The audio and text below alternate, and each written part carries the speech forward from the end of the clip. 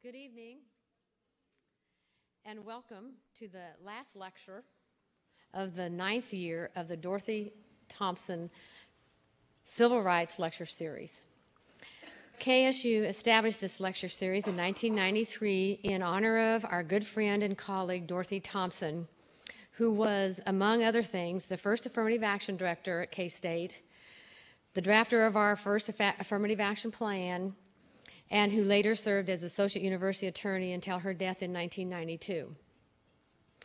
Dorothy was a highly respected as a lawyer, an administrator, and a friend by those of us who were fortunate to have the opportunity to work with her and to get to know her. She was highly regarded by persons of all political leanings for her diplomacy and judiciousness. One characteristic that stood out about Dorothy was her abiding respect for all people and her profound commitment to fairness and equity. A civil rights lecture series is a fitting memorial for her, and it has enabled us to bring to our campus and community prominent speakers on important civil rights matters. As many of you know, Dr. Jim Coffman, provost at Kansas State University, is retiring at the end of this academic year. We are sorry that he wasn't able to join us tonight. However, we certainly want to extend our thanks to him for all the support that he has given to this lecture series. Even in times of severe budget reductions, Dr. Coffman has kept the support for this series on a high list of priorities, or a high on the list of priorities. This series is jointly sponsored by the Office of the Provost, various academic departments on campus, and by its patrons. This year we presented two speakers, Jeannine Bell, who spoke about pol policing hatred and enforcing laws against hate crimes. And tonight we are delighted to have Arthur Benson as our speaker. Cheryl Strecker, assistant um, or senior associate university attorney at K-State, and uh, who is also a member of the Dorothy Thompson Civil Rights Lecture Committee, will introduce our guest. Immediately following the lecture, we will have an open question and answer session and we have two microphones set up for this purpose. They're, they're down here in the front. Um, and if you have questions that you would like to ask, uh, we want you to feel free to come down uh, after the lecture and ask questions. Cheryl?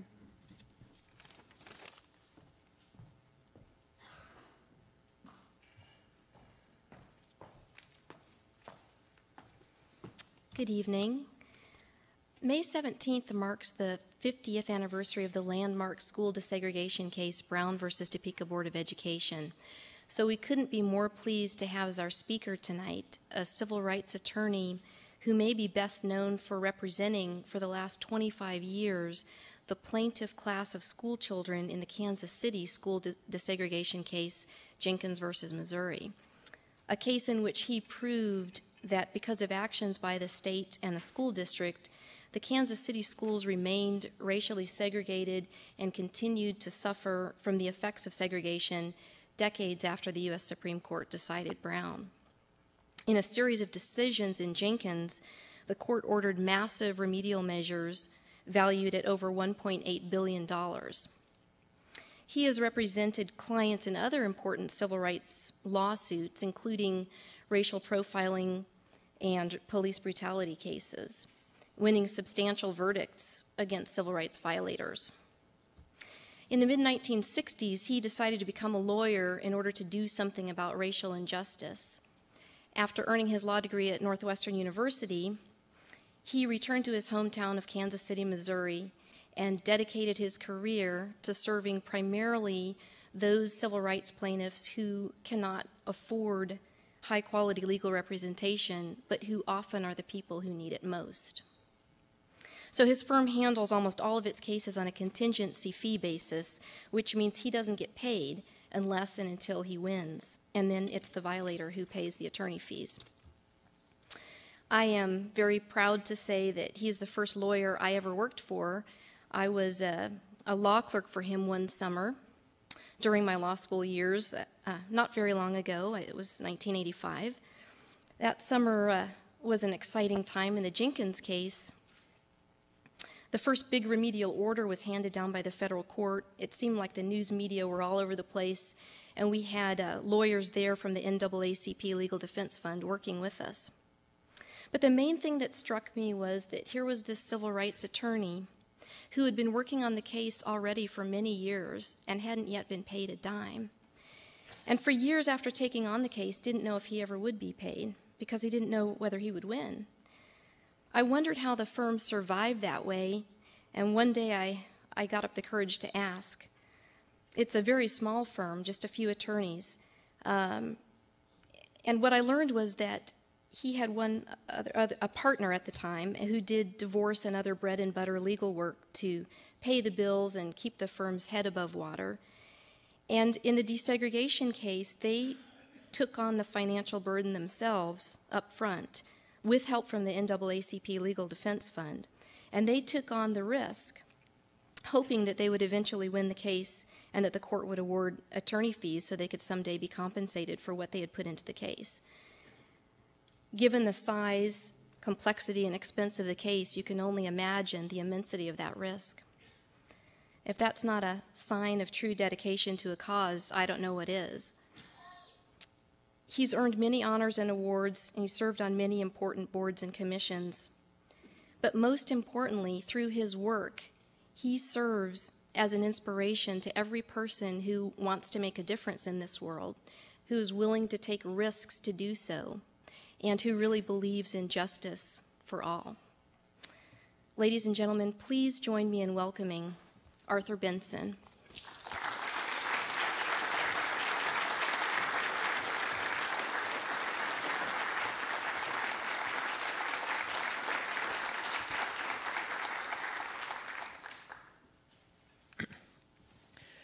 Faculty, students, and friends of Kansas State University, uh, Jane Roulette, and especially Cheryl Strecker, thank you. The arc is a familiar one. In 1857, the Supreme Court referred to African Americans as that unfortunate race. It was an inferior order. Uh, excuse me. That unfortunate race, it was of an inferior order altogether unfit to associate with the white race, either in social or political relations, and having no rights which the white man was bound to respect. Forty years later, the court described the dominant white race as entitled to insist on the enforced separation of the two races without abridging the privileges or rights or property of the colored race. this is very sensitive. I'll get used to it. Excuse me. Um, 50 years ago, the anniversary of which we recognize tonight, the Supreme Court held that separate schools are inherently unequal and may affect the hearts and minds of children in a way unlikely ever to be undone. And last year, the court upheld race conscious affirmative action because of a state interest in diversity so compelling that among other institutions, the military required it to function well. The arc from inferiority without rights to an importance so fundamental as to implicate national security seems staggeringly complete. Why then is this destination so unsatisfying? By the way, what is race anyway? Well, actually, race is nothing. Genetically or biologically, it does not exist. Physical characteristics tell us nothing about a person other than that he or she has genes for blue eyes or curly hair. There are no lines that differentiate between races. Biologists and geneticists cannot draw a line representing a racial division and put some individuals on one side of it and others on the other side. There is no such division, except cultural ones. As recently pointed out in a piece in Scientific American, the definition of what makes a person a member of a particular race differs from region to region around the globe. Someone classified as black in the United States, for instance, might be considered white in Brazil and colored in South Africa. The ancestors of all of us emigrated from Africa in waves starting about 100,000 years ago. But we know there is more to it than that, and there is prejudice based on appearance. It may not be entirely cultural. Some evolutionary biologists and psychologists argue that seeing outsiders or members of a different kinship group could signal danger, and that a major difference in appearance was a quick and self protective way of distinguishing from outsiders uh, from uh, allies and friends and relatives. Dr. Galen Bodenhausen of Northwestern notes that stereotyping, arising as it does from the mind's tendency to make sense out of the world by categorizing and simplifying, provides a basis for that rapid response often required in, ang- in angry situations. These scientists conclude that humans are wired to distrust outsiders and that thinking bad things about the people in another group makes people feel better about their own group. We should have matured out of those unthinking reactions when we created civilized cultures that we now live in, but we did not. We generalized broadly, and to feel better about our group, we marginalized others. In fact, as the field of anthropology was founded in the 1840s, slavery was becoming a divisive political issue in this country, and the field lent itself easily to development of a natural order uh, uh, of racial hierarchy made scientific by measurements of skulls. It just so happened that whites were at the top of the scale, reds, browns, and yellows were in the middle, and blacks were at the bottom. As especially Stephen Jay Gould showed so eloquently, whites doing the measuring used the skulls of males when they wanted larger numbers. And presto, anthropologists such as Samuel Morton could assert, just in time for the Supreme Court's decision in Dred Scott, that whites and blacks were of different species. Blacks were found by those, science, by those scientists to be so barbaric that Chief Justice Taney in the Dred Scott case, Dred Scott case wrote that a black might justly and lawfully be reduced to slavery for his own benefit. After emancipation, the black codes and Jim Crow laws rested easily on this scientific foundation. So, 50 years after Brown, and a year after the Supreme Court found that racial diversity was a matter of national concern, national security concern, why do we feel so uneasy about where we are as a nation of many races? Why are performance gaps, by all sorts of standards, so highly correlated with race? Why have we not made more progress since Brown? What explains the findings of the NAACP's own study in Shaker Heights, Ohio, that even blacks from high income families um, uh, living in upscale, majority white communities still perform significantly below whites, both as to grade point average and SAT scores. Why has Brown uh, failed to eliminate racial segregated schools not resulted in more parity in achievement after five decades of trying? And importantly, when we get the answers to those questions, what are we going to do about it?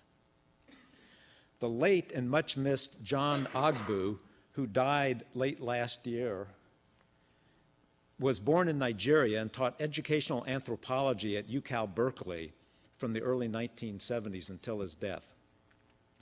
Dr. Ogbu argued that there is a significant difference between voluntary immigrants and forced or involuntary immigrants as measured by their assimilation and achievement, and that these differences are observed in many circumstances and many nations and cultures around the world voluntary immigrants individually make the decision to resettle in a new country, often because they see opportunity, opportunity that is rewarded by individual initiative. Involuntary immigrants held in some form of servitude find that individual action, such as attempting to escape, is punished, often severely. For them, collective action or group solidarity seems more beneficial to their well being. That was Dr. Ogbu's widely respected view, supported by a lifetime of research. Let's extend this point.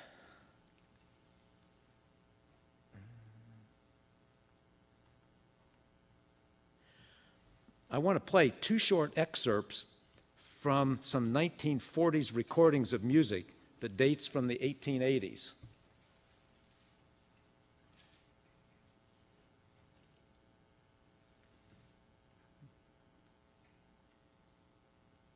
Wanting to and being able to do it may be a different matter.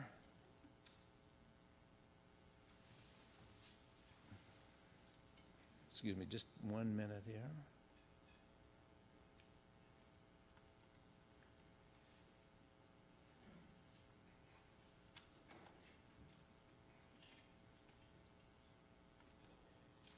There we go.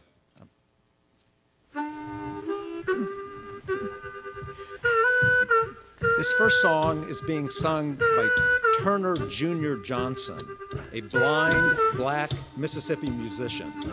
Mr. Johnson plays the harmonica on this piece, but he also played the banjo, the fiddle, flute, and the quills when Alan Lomax recorded this piece on a street corner in Clarksdale, Mississippi Glory, on July 19th, glory, 1942. Hallelujah. When I lay my burden down. Glory, glory. Hallelujah. When I lay my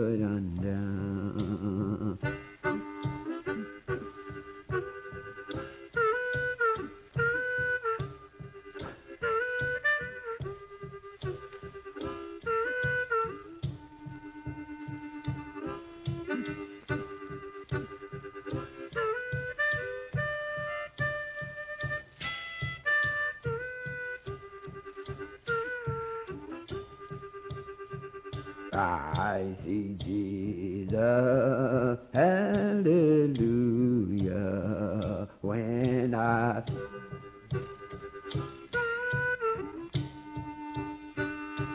Now, for contrast, here is a verse and a chorus from a song sung by Jess Morris, a working cowboy, a white from the Texas Panhandle, recorded by Lomax in Dallas on May 3rd, 1942.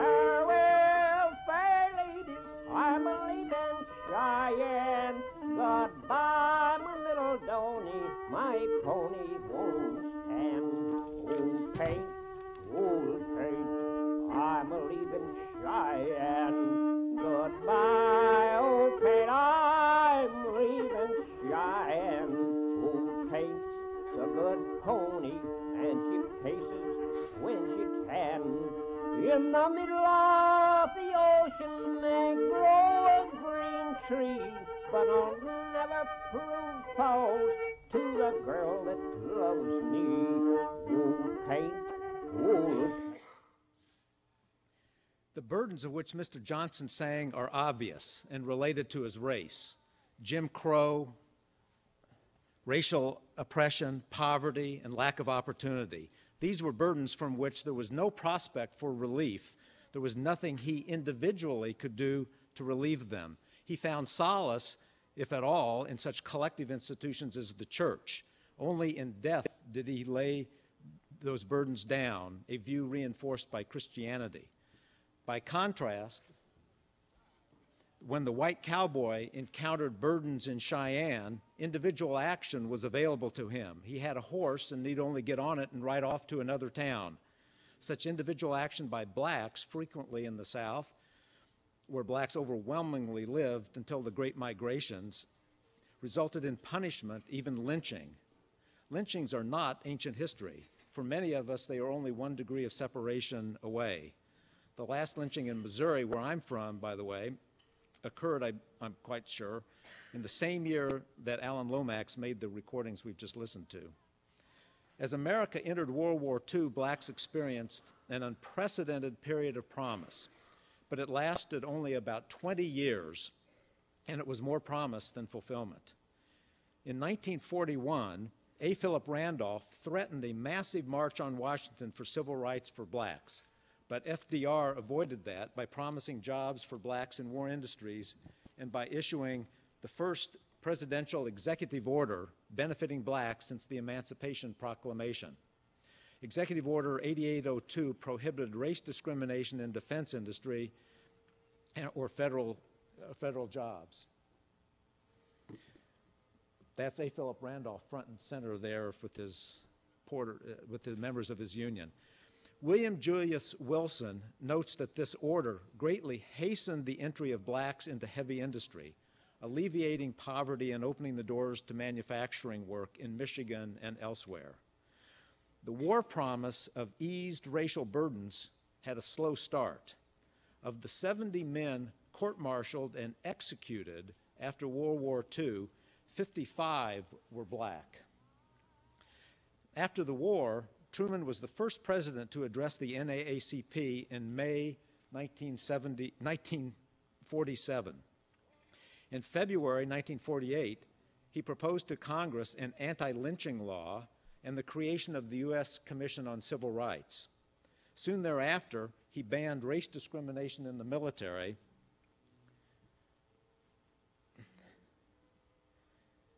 Jackie Robinson made it to the major leagues, and blacks returning from military service in the war and in Korea had tasted equality and began to demand it when they returned a demand that resonated throughout much of the North.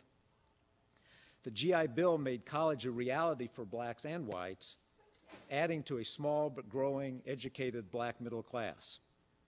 The Supreme Court, in a series of opinions concerning universities and graduate programs in the late 40s and early 50s, whittled away at the doctrine of separate but equal and hinted at the need for equality.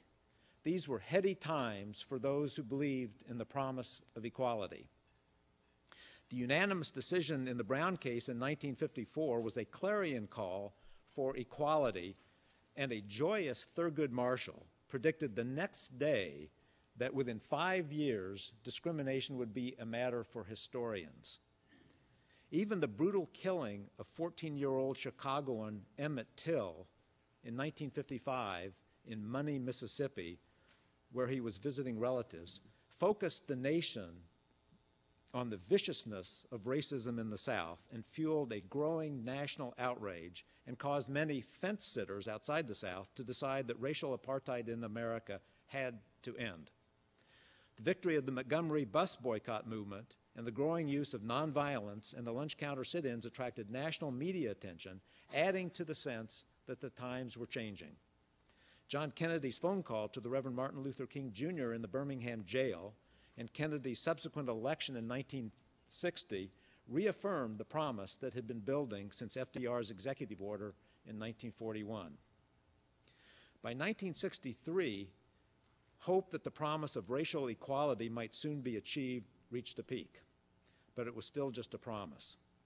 With substantive progress little noted, school desegregation proceeding with all deliberate speed, if at all, racial discrimination in employment still lawful, and voting rights for blacks resisted throughout the South, often with violence, A. Philip Randolph, whoop, sorry, A. Philip Randolph renewed his two decade old call for a massive march on Washington.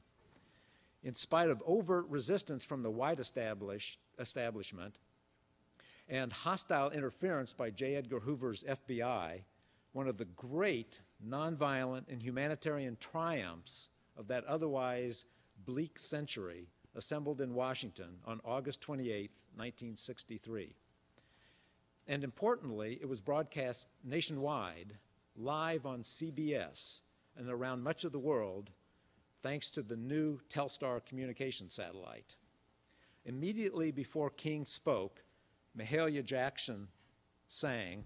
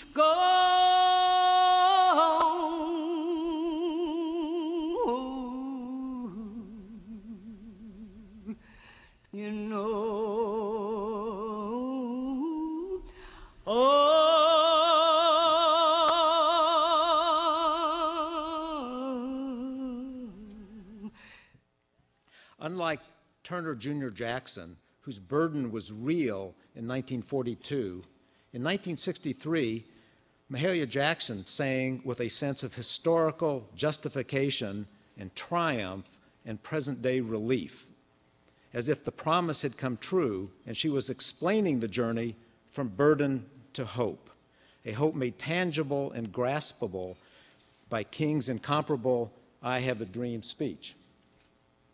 Collective action had brought hundreds of thousands of people to Washington and to the dawn of the promise realized. And collective action had mobilized much of the nation in the service of a nonviolent reweaving of the national fabric, or so it seemed.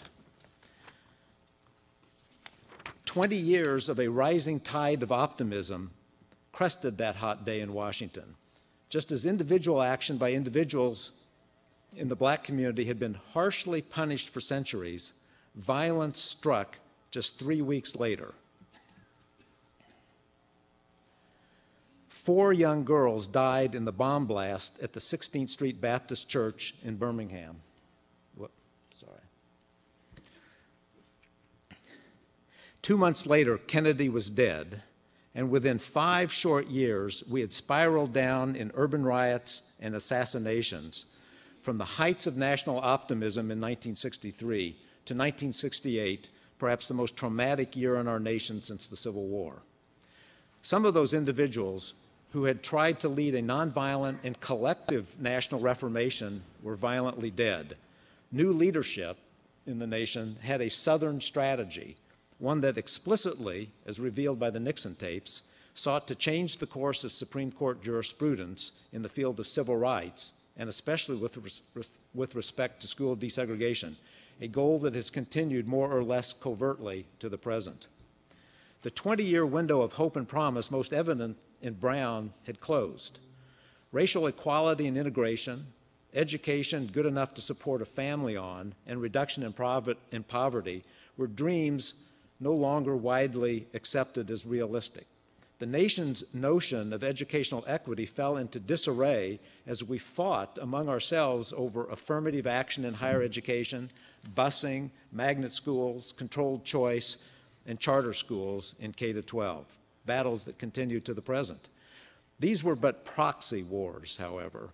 They allowed us to avoid our prejudicial and baseless beliefs about the natural order of the races, genetic bell curves in intelligence, and recurring expressions as to who could and who could not play which sports and why. Old stereotypes die hard. Overt racial stereotyping in the face of black in the blackface of minstrels in the 1890s surfaced almost subliminally in the 1950s. Whoop, whoop.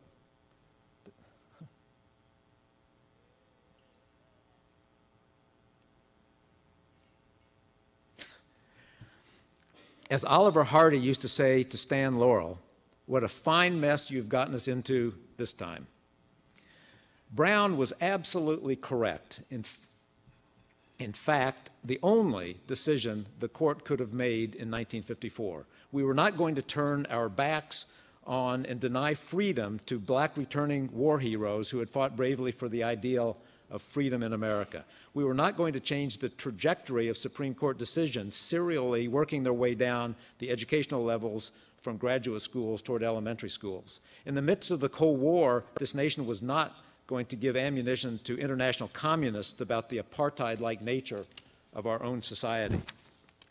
Decided for the right moral and historical reasons, the foundations of Brown were suspect. The social science was dubious. The 14th Amendment's promise of racial equality had obviously been directed at local black codes. And during the amendment's legislative history, no mention was made of public schools. All public schools that existed then were thoroughly segregated. And Brown implicitly burdened only black children. Blacks were likely to have their hearts and minds scarred for generations because of their blacks only segregated schooling. Whites, presumably still at the top of that natural order of superiority and riding in Oldsmobiles, were not noted as being similarly scarred by whites only segregated schooling. So, starting off on the correct journey, but headed on a wrong course, we have ended up in Oliver Hardy's One Fine Mess. Whites widely believe the problem's solution today lies with blacks, who need to engage in some concerted, individualized action and pull, up them, pull themselves up by their bootstraps. As a younger generation would say, they need to suck it in and get a life. Here's what blacks would have to suck up. They have about 56% of the economic clout of whites in our nation. The average black man is paid $16,876 a year less than the average white man. Blacks are denied home mortgages and home improvement loans at a rate twice the rate of similarly situated whites. The life expectancy of blacks at 72 years is six years less than it is for whites. At every stage of life, blacks are twice as likely as whites to die from disease or accident. On average, blacks receive three quarters of the health care that whites receive. On average, the quality of education that blacks get is three quarters that of, that of whites. Teachers with less than three years' experience are twice as likely to be teaching in minority schools. Blacks are half as likely as whites to get a high school diploma. For those who get into college, for every 10 whites who graduate, 6.3 blacks graduate. What is truly astounding is the differential rate of family wealth arising from different rates of appreciation in home values depending on the racial makeup of the neighborhood. And home equity has historically accounted for a mammoth proportion of average family wealth in America. And that in turn is closely associated with college attendance and graduation for the children of the family, and that in turn is closely associated with subsequent family income. So if you're black, society says, get on with your individualized attempts to get a life. While Brown may have been short on law and short on science, it was an eloquent call, calling the nation to the moral imperative of achieving the American promise of equality. Its unanimity came at a price it avoided any discussion of remedy whatsoever. It put that issue off for argument the next term, and later the court produced Brown 2 with only a weak admonition to use all deliberate speed, leaving interpretation of that vague term to the beleaguered trial courts. A decade later, at Howard University, Lyndon Johnson moved us closer to fashioning remedies when he elaborated on the need for affirmative action. His words are worth quoting at some length. You do not wipe away the scars of centuries by saying, Now you are free to go where you want, do as you desire, and choose the leaders you please.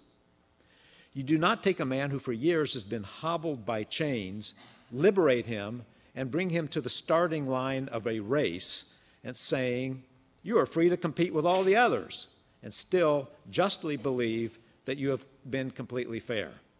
This is the next and more profound stage of the battle for civil rights. We seek not just freedom but opportunity, not just legal equity but human ability, not just equality as a right and a theory, but equality as a fact and as a result. Lyndon Johnson. Johnson argued that it is not enough to say to those harmed by segregation, get a life. But what is needed? What is, in, what is enough assistance? In the University of Michigan cases, affirmative action cases decided last June, Justice O'Connor wrote that racial diversity was a compelling state interest, at least for the next 25 years. Besides finding a sunset provision in the Constitution that no one else had ever noticed, and discovering that discover, her discovery of diversity seemed equally strange. What is diversity, and why is it related to blacks, Hispanics, and Native Americans only? Why not Canadians, piccolo players, and chess grandmasters? As Dahlia Lithwick wrote in Slate, schools are not petting zoos. We don't fill them with lots of varied and interesting creatures merely for an end to itself. The Supreme Court had, sort of, had ditched the prior affirmative action rationale in favor of this diversity underpinnings in the Constitution because it was faced with an awful dilemma. Elite and selective public universities, such as the University of Michigan, were being asked to surrender either their selectivity or their diversity to face squarely the issue that the court had ducked 25 years before in Bakke. There is no national consensus now on dealing with the root cause of underperformance by African Americans. Lacking such a consensus, Justice O'Connor found a way to temporize, to allow the nation to retain its elite public institutions and to populate them with some ill defined critical mass of minorities, chosen in a way, but not too openly, that does express a racial preference, and to do so for 25 years. As in Brown, the Michigan cases were short on law, but they were very long on correctness. They bought us time to try to figure out a national alternative to suck it up and get a life. In Kansas City, we tried a $2 billion experiment to find the solution. We've not found it, but the search goes on. In our desegregation case, the, the district court in 1984 and 1985 found four effects of the constitutional violation of maintaining separate schools racial isolation, poor quality education, underfunding of schools, and deteriorated buildings. As required, the court devised remedies to eliminate those four effects. It ordered the state of Missouri to pay most of the costs, and it enjoined a state law requiring a vote of the people to raise taxes so that the local school board could raise taxes without subjecting it to a vote, later affirmed by the U.S. Supreme Court. The voters of the, of the of the entire state of Missouri some years thereafter confirmed that higher tax rate, so it did not expire when the case itself ended last year. So for eliminating the underfunding effect, the Kansas City remedy gets an A plus, in my view. It used much of the money to rebuild all the schools, replacing many with new schools. The KCMSD now has the finest physical facilities of any urban school district in the nation another A plus for eliminating the deteriorated facilities effect. During the 10 years of full implementation of its district-wide magnet school program, under which virtually every school was a magnet school with district-wide attendance and enrollment, the KCMSD achieved more racial integration than any other district in the nation then under a desegregation order. In so doing, the KCMSD dispelled the old shibboleth of a tipping point by starting with all black schools and attracting a voluntary enrollment of 30% or more whites to many of its schools before the program ended. Because unfortunately, the Supreme Court in 1995, revisiting the Jenkins case, held that the remedy in Kansas City was too broad, and so it was soon phased out. And now only a handful of magnet schools remain. For the 10 years it was in effect, 64,000 kids benefited. For them, the program gets at least an A minus.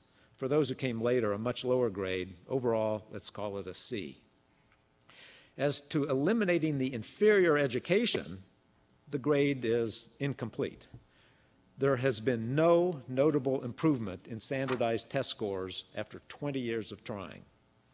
There is a lot of good education going on that is not measured, such as full immersion foreign language, French, and Spanish programs, but overall, educational quality is intolerably poor in this 80% minority school district of 30,000 kids. There is a lot of failure, and the community should be embarrassed and intolerant of it, but it is not. The local court only minimally involved itself in personnel decisions. That was perhaps an error. The school district has never enjoyed a team of talented administrators capable of getting 2,000 teachers to teach well and 30,000 kids to learn at high levels of accomplishment.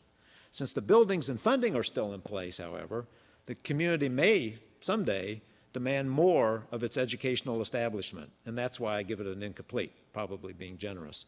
But I fear it will remain incomplete for a very long time. We cannot tell the kids in Kansas City to go it alone and get a life. So what do we do? Where should we look for the answers? Dr. Felton Earls is a professor of human behavior and development at Harvard. In 1995, he had some researchers drive SUVs at five miles an hour down every street in selected Chicago neighborhoods, videotaping everything they saw. 11,408 blocks in 196 neighborhoods. Then they studied police and crime records and conducted in-person interviews of 8,782 persons. What he found, he called the community's collective efficacy. What improved a community's health was not fixing broken windows so much as creating neighborhood gardens. City crews that removed graffiti were far less effective in keeping graffiti off of buildings than neighborhood councils were in doing it themselves. Collective community action was highly effective in meeting the needs of the neighborhoods and improving their health and welfare. Paul Hill of the Brookings Institution and others have written a short book, It Takes a City, getting serious about urban school reform, in which they argue that the problems facing urban schools are far too complex and interconnected uh, and, and involve too, far too many community variables to be solved by the existing norm of bureaucratic, top down school administration, and that school communities that's the building, the principal, the teacher, the, the, kids, the families, and the parents that school communities must be given incentives to find their own paths to high standards of educational success. There is a small but influential and growing se- section of urban sociology centered on public school reform. The civic capacity movement seeks to involve all aspects of an urban center's power structure and to focus them all on the educational success of its public schools, primarily in two ways. Clarence Stone is one of its prominent members. The first of the two means is to help schools deal with the problems that schools are uniquely capable of resolving, such as hiring qualified principals and adopting effective classroom coaching and teaching practices. For example, schools often need external help in recruiting, relocating, and retaining qualified people.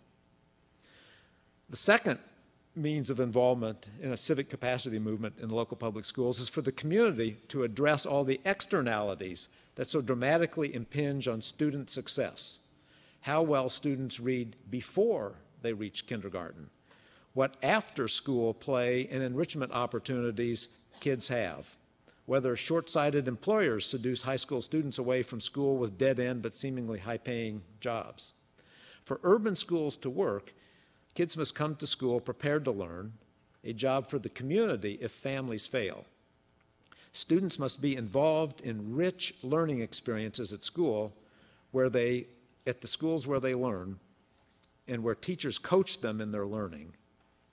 Learning that must be interesting, relevant, and challenging. Once in school, students need to stay in school. Bad and boring teaching is a primary cause of most dropouts, better termed pushouts. Students know when they are being cheated by a bad education, poor schools, and bad teaching. No school district acting alone can effect all that must be done for education to work, but the community can if it wants to badly enough. Right now, our urban school communities lack the resolve and the purpose necessary to make it possible for children to succeed. Communities need insightful leadership to develop the civic capacity to meet the internal and external demands of providing a modern education. Business, labor, faith, nonprofit, higher ed, healthcare, law enforcement, political, professional, recreational, sports, all must join together in a civic capacity movement and work collectively to build a civic capacity that is responsible for and takes on the responsibility of providing a superior educational opportunity. To start it, we need local, state, and national leaders to begin discourses on how we build the civic capacity to meet the needs of public education and why it is our responsibility to do so. If they succeed, our students will graduate, be prepared to take advantage of post high school learning opportunities, have the foundations to prepare themselves for a lifetime of family supporting employment, even employment that changes many times over a career. They will be interested in the news and in civic affairs, able to understand basic science and participate in the civic discourse, and they will have the opportunity to enjoy a lifetime of learning and be happy. Every child. But no one child, no one family, and no one school district can accomplish this individually. It takes collective, community wide action. As we have seen, many blacks see only danger in individual initiative.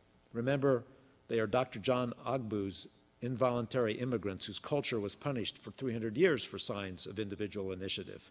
Even in Shaker Heights, the NAACP found, often for blacks, being smart is equated with being white. If the community wants smart for everyone, it will get smart for everyone. Brown pointed the way. Whether we realize the promise and complete the journey is an open question. After 50 years, our grade is an incomplete. I end by asking do we have another 50 years to pass or fail? Thank you.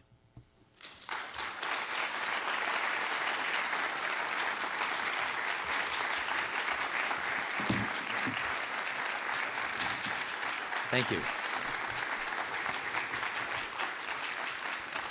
I'm glad to answer questions. I'd, I'd, I'd love to answer some questions. Students leaving, I, I was warned the students would be leaving, and so now's the time for students, if they feel they have to leave, now's the time to go. But I warn you, you may not be graded. You may get asked a question about the question and answer session. okay, if anybody has a question, come on down and um, come to the microphones. While we're waiting, if anybody has one, I'll ask myself a question. No, no, we have, we have a brave soul here. I just wanted to ask what you think about the uh, No Child Left Behind.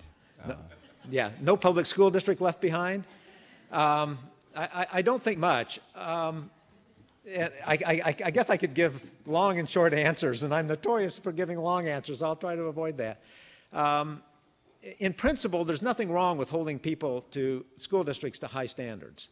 There is something wrong about having one high standard that everybody has to apply to, uh, ha has to uh, deal with. Uh, that's kind of a philosophical question, but I'm gravely concerned about No Child Left Behind in the practical aspect, in that extraordinarily high standards have been set which in principle is a good thing, for all school districts, no matter where that school district is located, how well funded or how poorly funded it is. And achieving those high standards doesn't come free. And a great promise was made at the time it was enacted that No Child Left Behind would be fully and adequately funded so that school districts that needed to make significant changes in the way they were delivering their programs, could add reading teachers or whatever was necessary, could do it but they haven't been given the funding. They can't do it, and now they are being labeled as uh, failing to make progress, as failing schools, and they're being told by the federal government, to, parents are being told, your school is a failing school. Um, and it's happening mostly, guess where? In urban, minority, low income schools. It's happening in a lot of others, but overwhelmingly, the huge proportion of schools that are being labeled failing schools are in low income urban districts. It, it, it's, a, it's a national travesty. Next question. What about SAT scores? Someone just asked me. Uh, uh, there, is a, a there, has been a long uh, discussion in educational circles about whether or not these standardized tests like the SAT are appropriate gatekeepers for who gets into college. Um, uh, one of the large problems of affirmative action, of course, is that those who say there should be no racial preferences whatsoever want to point to the ACT and the SAT scores and say, there, that's a, an objective measurement of ability. Uh, use that only. Uh, let me let me ask. I'm going to give you an SAT quiz here. This is a pop quiz. You have to raise your hand uh, to answer this. You, it looks like there are enough people here who remember Janis Joplin. She sang a song about asking the Lord to give her a Mercedes Benz because her friends all dro- drove Porsches. When she was singing that, was she singing sarcastically or sardonically? Okay. That's a typical SAT question. Okay. How many say sarcastically? Okay. How many say sardonically? Well, Anyway, I don't know what the answer is. Uh, so it's a matter of judgment, I suppose. But that's part of the problem. SAT questions are pre tested to make sure that a certain proportion of students always fail them, or else they don't differentiate. If kids don't get the wrong answer at a sufficiently high level, if everybody always gets the right answer or everybody always gets the low answer, you don't divide kids. SAT scores are pernicious and especially when they use those kinds of measures like being able to distinguish between sardonic and sarcastic. I mean, how many of our kids get out of high school, do you think, capable of, of, in their fall of their senior year, able to correctly answer that question? And would you bet their Harvard education on it? Um, uh, those, are the, those are the kinds of difficulties that have, while they have been pre screened to make certain that they are not racially discriminatory, there are very strong correlations between income and correct answers, and then there's again a correlation, of course, between income and race. So the, we, the, are, standardized test scores are damaging from kindergarten right on the way through graduate school. You put your, your finger on something very important. This is uh, the some groups uh, working uh, or benefiting from collective actions, and whereas others taking on individual um, roles. And I think uh, this is what we find in, in teaching and, uh, classes here as well, that uh, you find typically minorities and uh, African American students, they benefit more from collective, working collectively, whereas you don't see the white Americans doing the same. And so when you're talking about bringing about changes in the culture so that, you know, both sides benefit the same way, I'm a little bit perplexed as to how we go about doing it because there is the individual culture and there is the collective culture. And uh, the dominant culture is the individual culture. So how do you bring yeah. about so that... Oh, that... That's an excellent question and one that obviously points to a, a, failure on my part to make explicit what I was talking about in the speech. So thank you for asking it so I could do this. Um, the, the, the question that I often get asked is, what about reparations? And, and, and, and reparations is an, as an individual kind of thing, whereas in the Japanese internment, you wrote a check to the Japanese is probably appropriate in that case, but that's not the kind of reparations we're talking about. And when we're trying to deal with alternatives to affirmative action and overt racial preference, when we're talking about finding ways to close the performance gaps, those efforts must be tailored to the needs of the community that is suffering from the performance gap.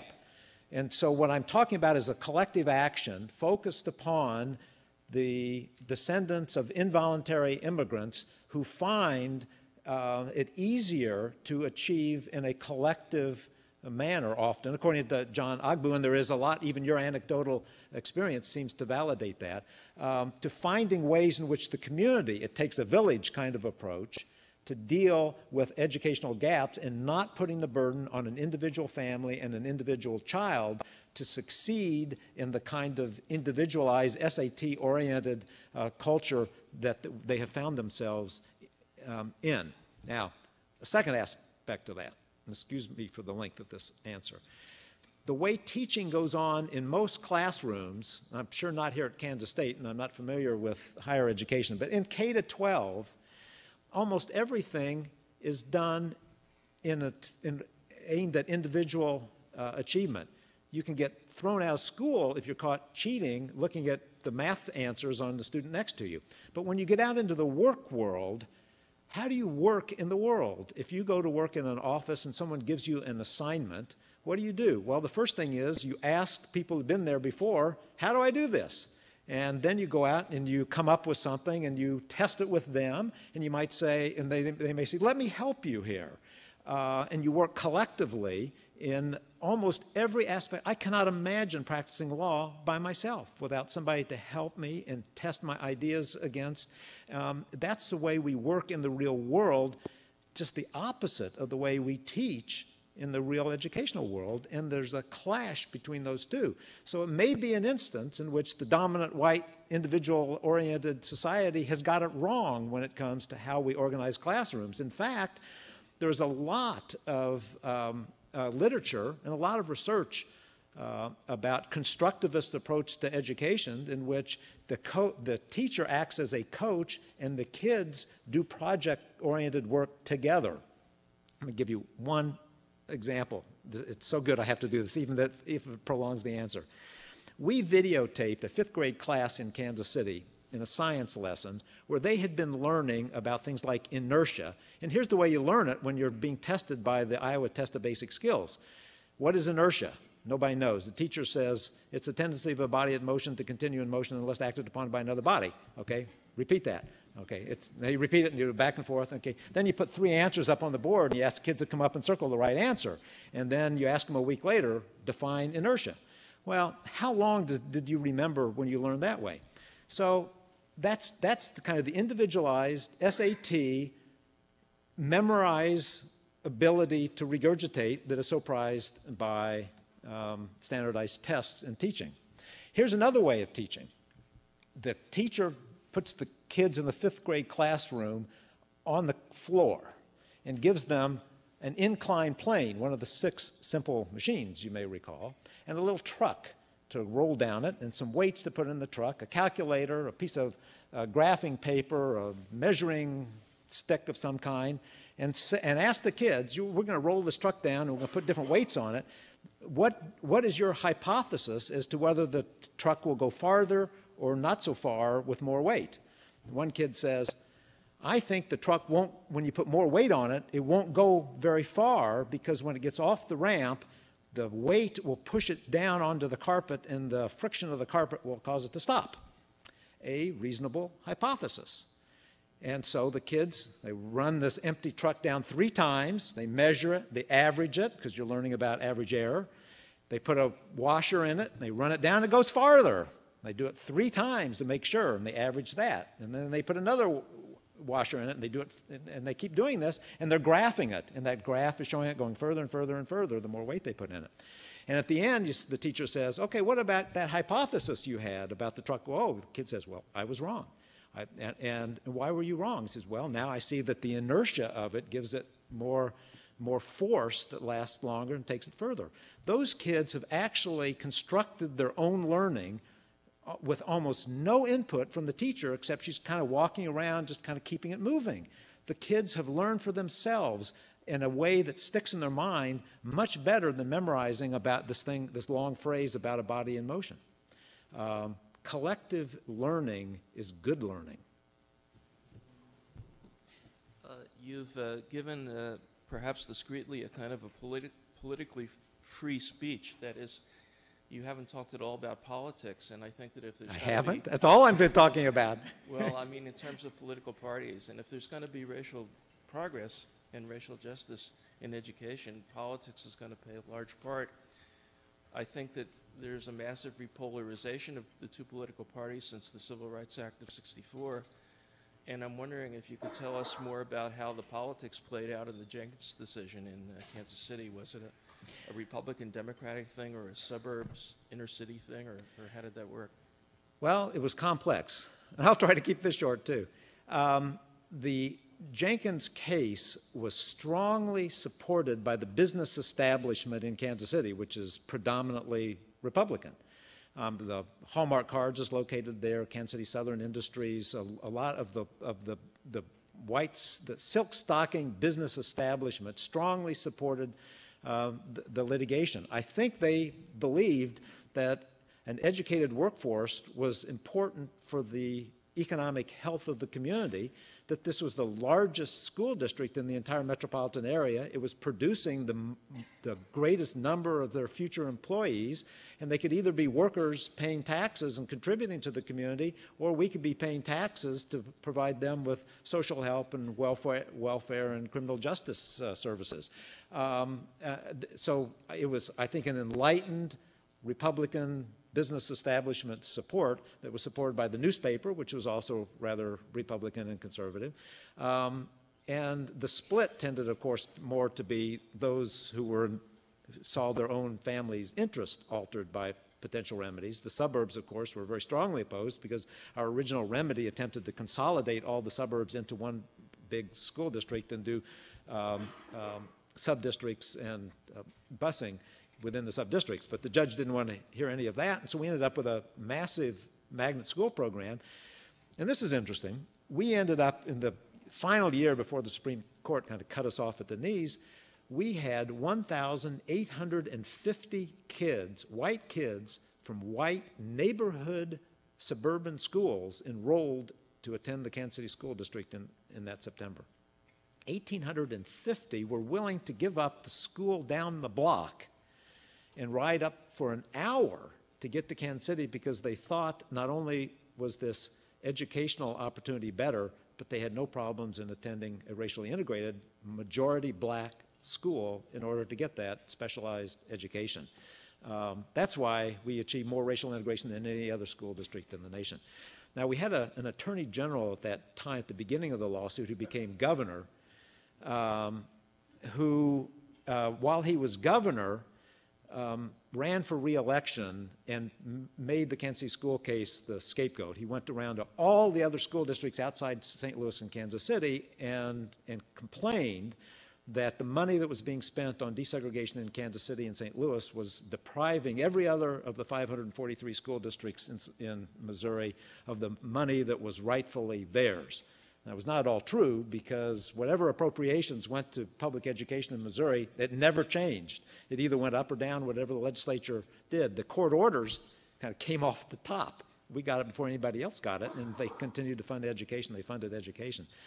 Um, and then in 1994, um, he um, elevated himself into the United States Senate, um, running strongly against the desegregation remedy, which was just at that time making its way uh, to the U.S. Supreme Court for the final time. Uh, it was a major issue in his campaign, which he won and became United States Senator. And so uh, I'm afraid to say that if it hadn't been for the success of Jenkins versus Missouri, John Ashcroft would not be the United States Attorney General now. Is that enough politics? I grew up in the Cleveland area, and um, a few years ago, the Supreme Court upheld a voucher system for the Cleveland School District. And it seems like some of the biggest supporters of the voucher schemes are parents of urban minority children. And I just wonder if you would comment on what you think about vouchers as a tool to uh, provide genuine educational opportunity. Right. I think they're terrible and destructive of urban uh, public e- education, and here's why. Um, I don't begrudge any family who feels that their child is in a miserable and deplorable education for grasping at any straw to get them out. And I'm sure if I were in the same situation, I would do the same thing. I would grab at a voucher and get my child out of, of that kind of situation. The problem is most vouchers are very poorly funded maybe $1,000, 1500 some of the most generous are $2,500, and that will not buy you much of a private education. Secondly, many of them are being used by, by families who are already ha- enrolling their kids in private and parochial schools, and they take that $2,500 and they just kind of less money they have to take out of their pocket to pay uh, for the other school.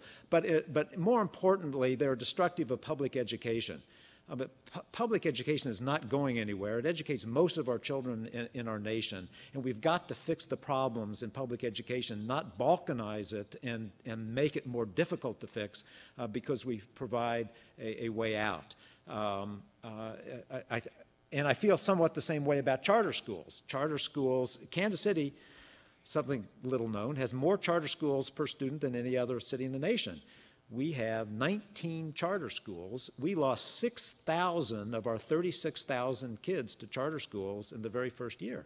Now, funny thing about our 18 charter schools, 16 of them are performing, as measured by standardized tests, are performing more poorly than the Kansas City School District. Only two of them are exceeding. Um, and so they have not proven, and they've been, and this has gone on now for five, going into our, we're in our sixth year, but we don't have the sixth year's data yet. Um, uh, consistently, only two of 18 schools are exceeding the educational achievement levels as measured by the Missouri statewide mandatory um, uh, testing program. So charter schools and vouchers don't offer much hope for improving public education. In fact, two, three of our charter schools were Edison charter schools, and Edison came in for three years and com and completely flopped and pulled out this year and just left the school uh, in the Kansas City School District's hands uh, uh, very suddenly. Yes. Thank you for coming to speak tonight. You're welcome. My question is How do you define multiculturalism? And based upon your response, I may have a follow up. Um, why don't you tell me what you think, what you define multi multiculturalism is? Um, Well, I find it something very difficult to define because multiculturalism is so much, and if we try and classify it, we'll get ourselves nowhere and we will not progress. That's my personal opinion. I think it is something that, um, I mean, there are certain perhaps quotas or certain characteristics you can look for in diversity, but diversity is a way of thought, not just a surface concept. That's my personal opinion. What is yours? Well, I guess it depends on the context. Um, uh, I, I, am I'm very proud that my daughter knows about Kwanzaa, something she probably would not have learned if she hadn't gone to public school. Uh, I, I, for for too long, uh, we had a history that was essentially a history of white males. And so, for those of you who are not males, I suppose you appreciate the fact that, that you've now been included in history, and that's a form of multiculturalism. Um, uh, it, it, it, so, in, in many respects, I think knowing and learning and having the opportunity to learn about people different from you is extremely important. I mean, we live in a, an extraordinarily multifaceted world. And you are not equipped to prosper in this world intellectually or financially or in any other way unless you have some knowledge and sensitivity and tolerance um, uh, concerning uh, people who are different from you. So, in that respect, I'm strongly supportive of it. Now, if you're talking about multiculturalism as something that's sort of a mandatory, sort of dictated quota system, um, I don't know exactly where that would fit, but you know, everything can be done to extremes, um, but there is there, there's no way of having too much of a, of a good thing like knowledge and understanding and tolerance and empathy. Um, can I follow up? Please? Sure. Okay, so if an organization seeks to recognize minority students or students of color for their achievements, and they do this under the label of multiculturalism, do you see any issues arising out of that? Well, I, no, it sort of depends on the. I feel like I'm being drawn into a parochial fight here that's probably going on on the campus. Uh, uh, gen- generally, g- generally speaking, no. I mean, I, I think it's it's uh, uh, people of all races and colors and nationalities and genders and orientations and everything should be recognized for their uh, achievement. And if there's been some some lack of recognition for some people in the past, and it's certainly appropriate to make up for past failures to recognize people. So, no, I don't know. In, in principle, I don't see anything wrong with that and would support it. Yeah, I want to uh, take up a, a question that kind of touches on a number of things that people have mentioned and, and take off from what you had said about the practical effect of the actual manner in which this No Child Left Behind program is being administered. Um, the effects you've outlined that, that schools are set some very high standards, uh, they're not funded to meet those standards, they're then stigmatized and, you know, as failures. Um, potentially, they could lose funding. Um, these effects surely are not unknown to Karl Rove, to uh, President Bush, to people like Trent Lott, to Mr. Ashcroft, right? Secretary Paige. Well, and I'm, you know, I have to say, you know, I, have to, I think we have to ask another question here. Are these people in good faith, or is this a rig job? Isn't this a bunch of deceptive lying, like what you pointed to with Mr. Ashcroft? This is set up to wreck public education. It's not so, it's, it is not designed to help public education. It's a payoff to a constituency that is utterly hostile to public education. And that's a bunch of, especially faith-based, uh, you know, faith-based people, schools, which, which want public money to come their way, and they want public schools to dive and crash and burn. Uh, I think when I was first asked the, the first question about No Child Left Behind, I think I answered the question by referring to it by saying, Do you mean no public school district left behind? So that's my view. yes. I agree that 50 years is, is too long and an, an incomplete probably is not acceptable at this point.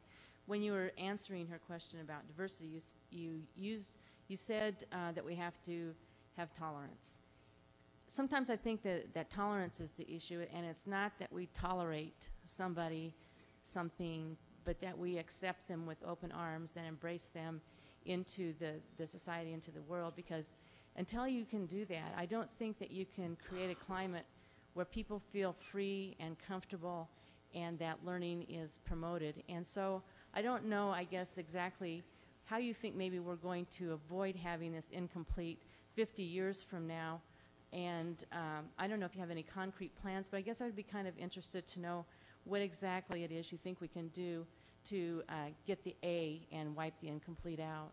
Okay, that, uh, a good question. Um, two points. Uh, with respect to multiculturalism and tolerance and so forth, it's too often treated as though it were a zero sum game, that any recognition you give to him is recognition you don't give to her, and that there's only so much recognition that can go around. Well, I mean, that's, that's just, it's not a zero sum game. Um, it, it, it, in, in, fact, it's kind of a multiplier effect. The, the more you recognize and extend yourself to him, the more it gets passed around, you know, pass it forward or whatever they say. Um, and, and, and so we too often treat race relations as a zero sum game. What he is given is something that's taken away from me, and that's not the way it is. Uh, to the extent to which we educate and enrich the world, we make it better for all of us, and we all benefit, and the sum itself is enlarged. So, first part. Second part. Um, I touched upon it in, in my lecture. How do we go about avoiding the incomplete in the next 25 years Justice O'Connor has given us, the 50 years that we may need? Um, I, I, I truly believe that our communities are, have for a long time avoided the problem of our failing urban schools. And once we can find a way to spark the national interest in this, and begin a discourse as to how we address these problems and pull the community into it and provide the kinds of tailored responses that are necessary eh, that will vary from community to community, we'll find a solution to that. And I, I think I could, on paper, draw it for the Kansas City School District because I'm familiar enough with the particularities of that. But it's not going to start until our mayor first starts the discourse and then is supported by our governor who continues the discourse and enlarges and enriches it, and then is supported by our president, who makes it a national interest and priority and begins a discourse that may last for years while we, while we try to find way, while we focus attention on how deplorable the educational outcomes are in our urban areas, and we make sure everybody understands it. Understanding and realize, realization and appreciation are the initial first steps without which we will never get to the second step is let's roll up our sleeves and do something about it. I firmly believe that if we had, you know, President Clinton tried to start a national dialogue, a discourse on race relations um, that got sidetracked when he met Monica. And we never got, and we never got on, we never really continued that. He, he, he said he wanted, he said, let's look at affirmative action. Let's, let's, let's, you know, let's uh, Jesse Jackson said, let's mend it, don't end it kind of thing. And, and Clinton embraced that and said yes, and was just beginning that. And it went nowhere. I mean, uh, the, the bully pulpit of the United States presidency is extraordinarily uh, powerful when it comes to focusing national attention on something. And if we had it from the mayors to the presidents of our nation, focusing our attention and making us realize that this, is, this affects me and my family and my future and my community, we've got to do something about it. Now, how do we do something about it? Communities will start looking at the individual problems.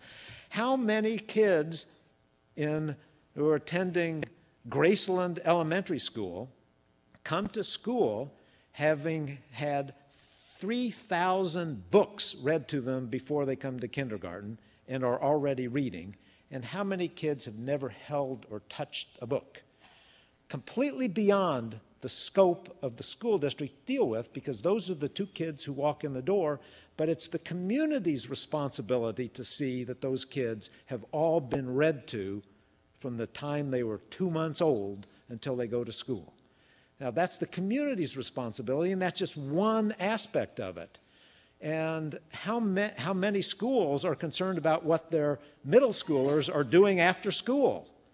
How many latchkey kids are out there getting into trouble when they ought to be in enriching activities and sports and, and involved in the community?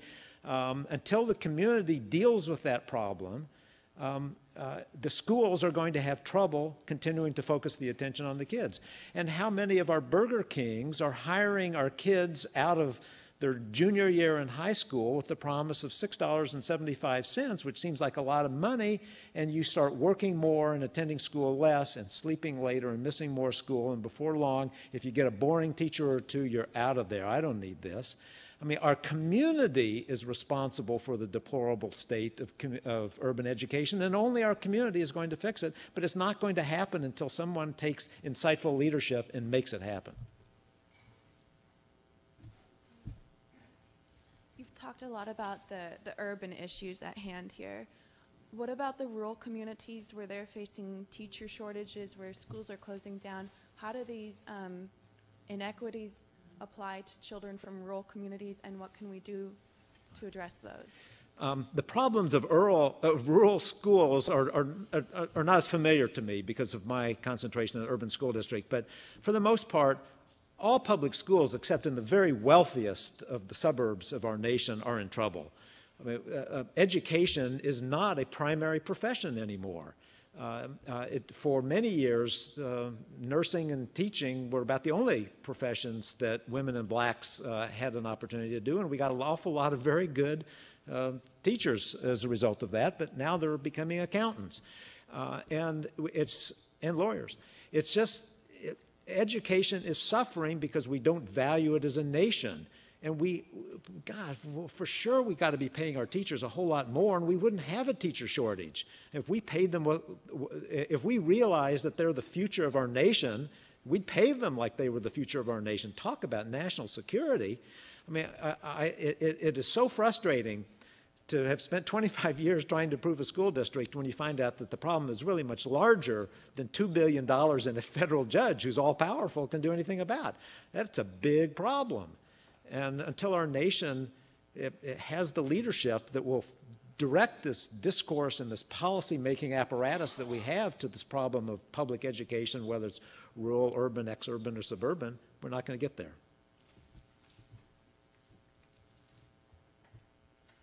When you talk about Brown, when you talk about Jenkins, when you talk about other rulings, they all seem to be about resources, access to resources.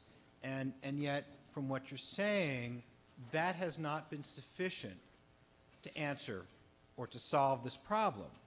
And uh, what I'm wondering is, from the point of view of a, a lawyer who's been involved in all of this, um, since that seems to be the approach and that hasn't succeeded, what do you see the role of the legal system in solving this problem in future? Or is it then as you're saying, a political problem? Good, good question. Um, before I answer it, if anybody wants to leave, feel free to get up and leave. It won't bother me at all. I'm willing to stay here and answer questions till the sun comes up. And so don't feel you have to stay. Um, uh, you know, the, a lot of conservatives uh, have said that what the Kansas City case proves is that you can't solve educational problems by throwing money at it. You can't solve them by drowning the school district in money because, my God, $2 billion, that's a B, uh, and what do we get for it? Um, well, a couple of answers to that. First, this Kansas City School District was in desperate condition to start with. I mean, it, I, I cannot tell you how deplorable the physical conditions were that when you take the president of Kansas City Southern in to visit one of the school classrooms um, before any of the remedy had gone into effect, he comes out in tears. It was so bad. You cannot imagine that we would send our kids to school in such horrible conditions. So a, a large amount of money, $800 million was spent just uh, replacing and renovating uh, a school. So we spent a lot of money just catching up. Our, we'd had two disastrous teacher strikes because now, here's an interesting fact. In 1969, the school district in spring of 1969 was majority white.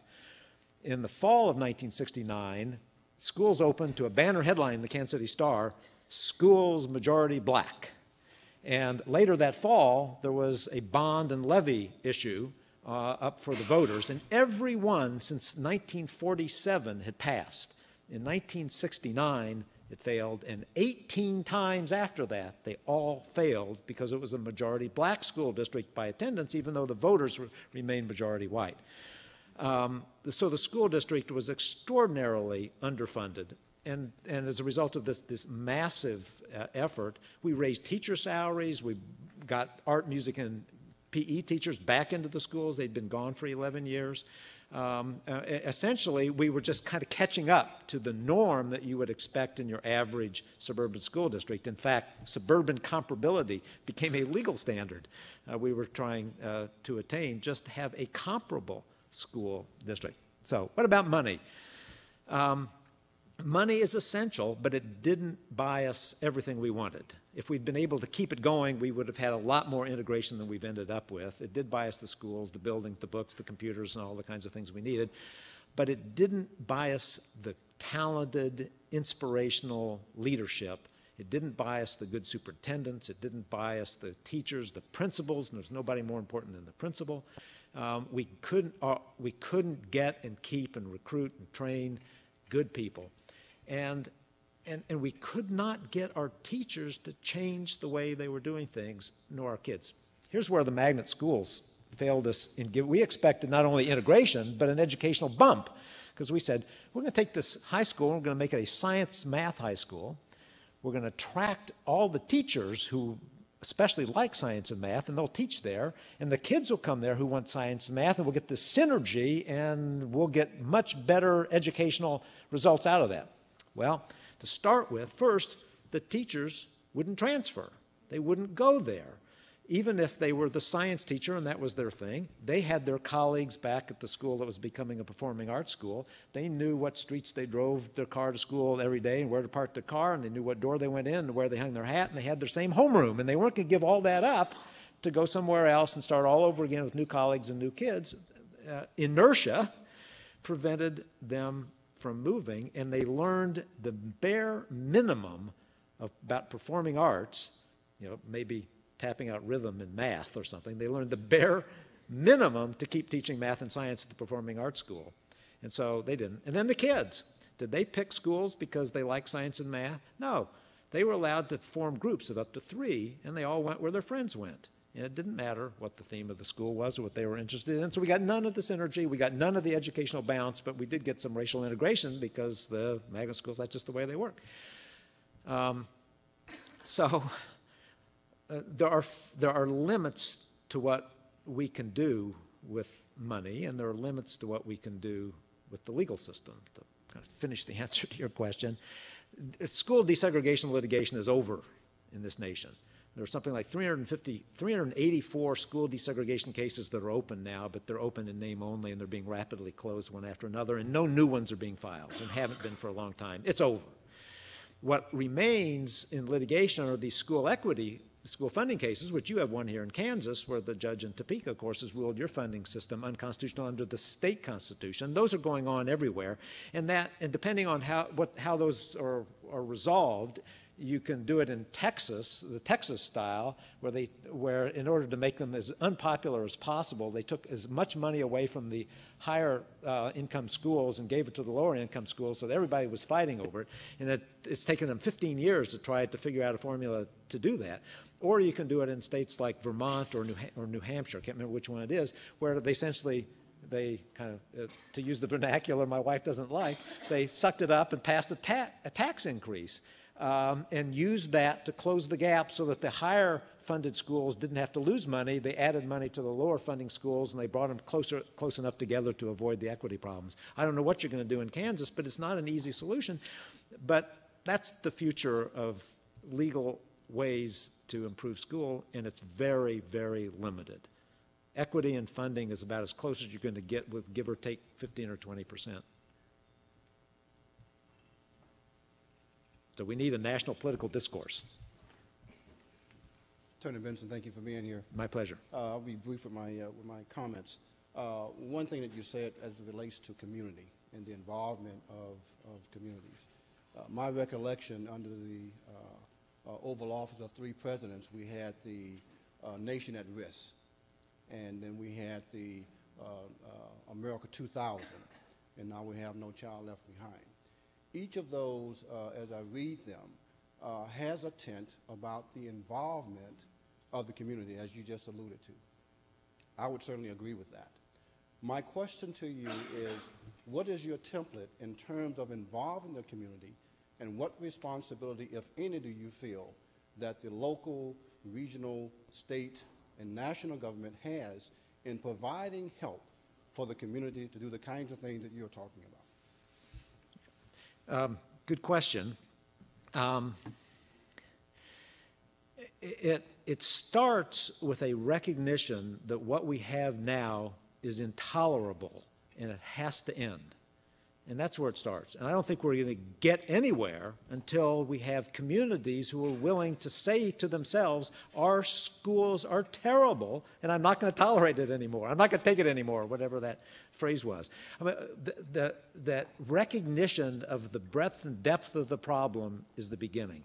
I can't prescribe the answers that will flow from that recognition, but I am confident they will flow and that they will vary from community to community and that they will require the state and the national and the local governments, but they will require much more than that. Uh, the government has to provide the framework within which communities can work and provide uh, some assistance, but it's mainly going to have to be done by business and labor and faith and higher ed and, and all the aspects of the community you can imagine who are willing to step up to the plate and say, we'll take that problem on.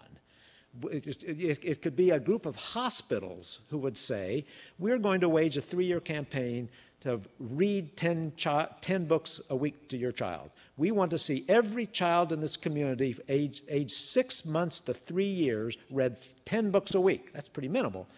But the hospitals could do that, and they could, they've got resources and they got way. They could say, this is going to be our contribution to this community effort to improve education. And everybody can make contributions. Go ahead and go. You don't, you don't bother me. I see you're on the edge of your seat. Um, everybody everybody has a contribution they can make.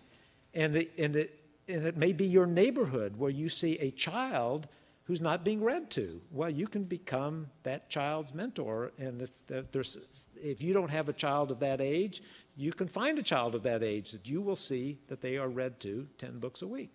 I mean, it, it once we recognize how severe this problem is, I think communities will find their own answers. And for the most part, I think they have to be found community by community. I don't think there is a national prescription for this other than assist as needed.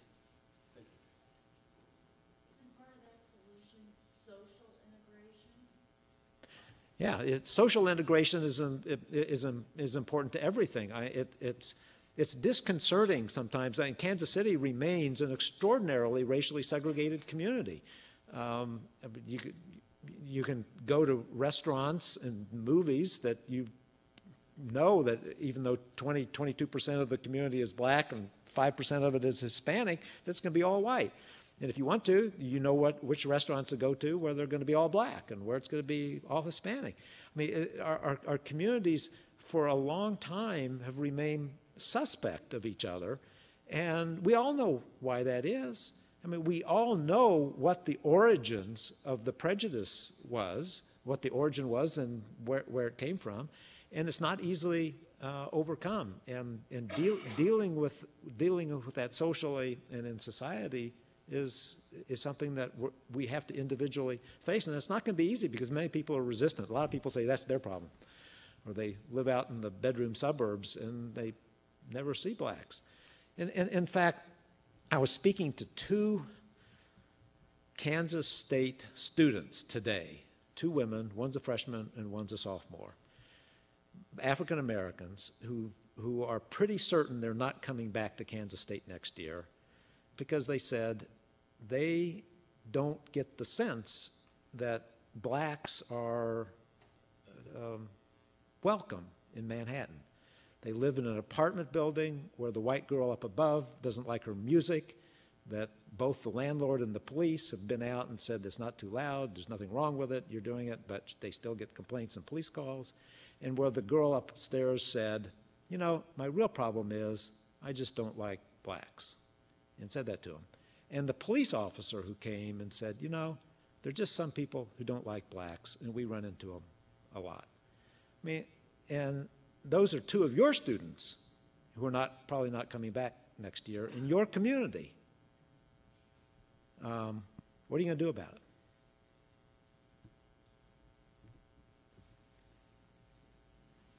I, I don't know what I would do about it, but something that's that's as intolerable as poor education. I noticed that you uh, referenced Judge Bullock's decision regarding the uh, funding formula of Kansas schools. I was wondering if you could comment on that a little bit. I'm not sure you're familiar with it, but I haven't read it. This is getting a bit dangerous. no, uh, I, I really don't know. Um, I, I've, I've never been involved in school equity funding other than just kind of reading it as a citizen follows it uh, in the media. So I, I don't really know the details about it. I, I, I, I know they passed some special legislation to be able to engage in an extraordinary appeal, so to try to bypass him, so they don't have to come up with a remedy. That, to me, that that it seems like the legislature in Kansas is determined uh, to do nothing about the problem, and I, I don't know how that will end up.